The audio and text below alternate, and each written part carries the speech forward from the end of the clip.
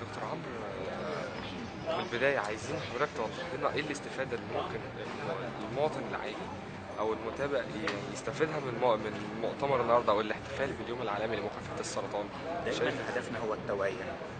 الحاجة اللي أنت ما تعرفش عنها حاجة بتبقى خايف منها. بينما لو نشرنا التوعية مش هنبقى خايفين من أي حاجة خالص. السرطان أساسه هو الكشف المبكر بس عشان نوصل لمرحلة الكشف المبكر هو التوعية. لو أنا سمعت إن في حاجة اسمها الكشف المبكر عمرنا إن شاء الله ما نوصل لمرحلة السرطان. في سرطانات كتير جدا زي عنق الرحم. بيقول لك الخلايا بتفضل تتحور على مدار 10 ل 20 سنة قبل ما تقلب لسرطان عنق الرحم.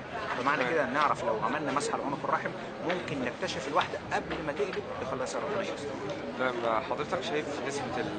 يعني الشعب المصري عنده وعي قد إيه بفكرة الكانسر شايف هو فعلا في وعي زيادة بال... في كشف فعلا المبكر؟ إحنا عندنا كلمة أعوذ بالله. اعوذ بالله والمرض الخبيث المرض الوحش انت هتفول في وشي. فانما بنقول لازم نتكلم.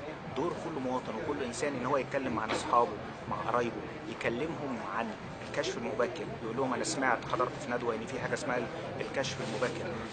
كل الأمراض يمكن علاجها لو اكتشفناها مبكر جدا. الورم لو اكتشفناها في مرحلة مبكرة العلاج بيبقى سهل جدا.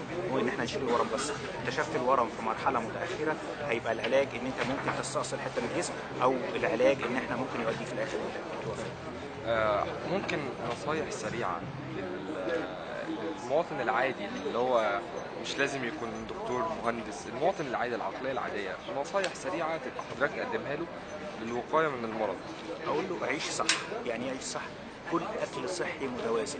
ابعد عن الدهون زود الإلياف. ابعد عن التدخين التدخين السلبي.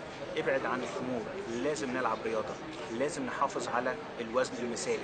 لو اشتكيت من حاجة روح للدكتور. ما تستناش لما المشكلة تستفحل وتبدأ تدور على الدكتور. انت من الأول زي ما قلنا في المحاضرة.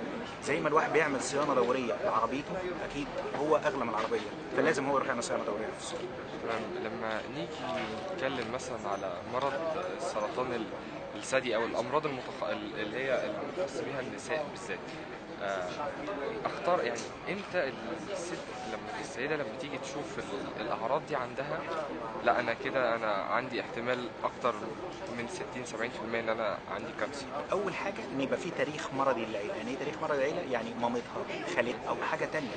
إن هي واحدة ابتدى تحس بورم ملموس في الصدر أو إن الحلمه شكلها ابتدى يتغير أو ابتدى ينزل دم من الحلمة أو ابتدى بقت تحس بحكه و- وتغير في لون جلد الثدي كل العلامات دي تخليها لازم تروح للدكتور. دايما بنقول ما تستنيش لما يبقى في ورم كبير. لو حسيتي بأي تغير لازم تروح للدكتور. في الفئة العمرية الأكبر من ال- ال- اللي منتشر فيها المرض أكتر. أي فئة عمرية؟ أو من سن بتبدأ من سن هي كام؟ طبعا كل ما العمر بيزيد كل ما احتمالية السرطان بيزيد. لأن السرطان ده عبارة عن خلايا ابتدت تتجنن. فكل ما الخلية بتطول كل ما هي احتمالية تزيد. بس نقول دايما إن إحنا في آخر 20 سنة كنا زمان نعرف إن السرطان ده مرض بيصيب الكبار بس. بس دلوقتي لو دورت حواليك هتلاقي ناس صغيرة في السن ناس عندها 30 سنة وبيجي لها سرطان. يعني السرطان وصل من انتشاره إن أنت لازم هتلاقي حد يا في قرايبك يا في أصحابك يا في جيرانك عنده سرطان. هو مرض مرعب ولازم كل المجتمع يتكاتف. ضده ممكن يوصل للأطفال؟ طبعا. إحنا معانا مستشفى 57 وإحنا بنتكلم على سرطان الأطفال. في في سرطان الثدي لا. سرطان الثدي ده ليه علاقة بالسن الكبير؟ ممكن يجي في سن صغير بس يعني واحدة عندها 30 سنة ده لو هي عندها تاريخ مرضي ليلى يعني لو مامتها جالها سرطان ثدي يبقى دي أكثر عرضة إن ممكن يجي لها سرطان ثدي في سن صغير. بس في صفة عامة سرطان الثدي بيجي في الستات اللي سنهم كبير. يعني بنتكلم في واحدة فوق 50 أو 60 سنة. شكرا حضرتك جدا واتشرفت بحضرتك الله يخليك. شكرا.